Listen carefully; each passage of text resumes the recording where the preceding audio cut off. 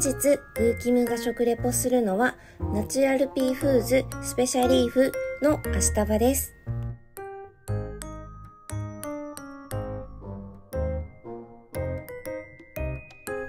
アシタバも初めてあげます。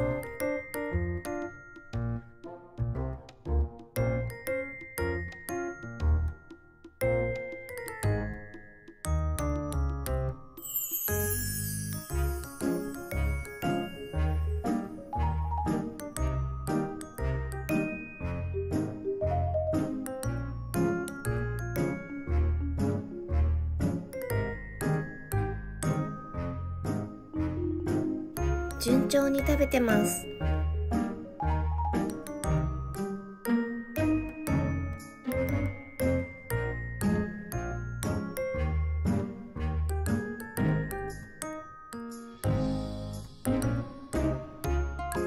おやつの匂いで寄ってこないなんて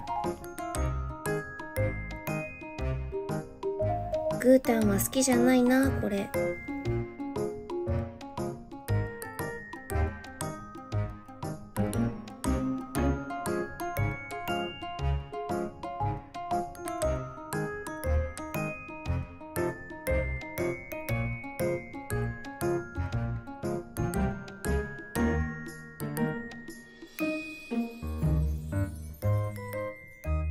キムちゃんは気に入ったと思ったのに。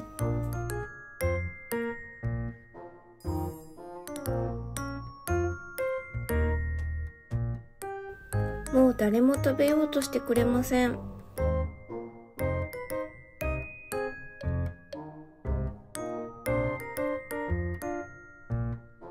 明日場も残念な結果にうさぎさんの食の好みは難しいです。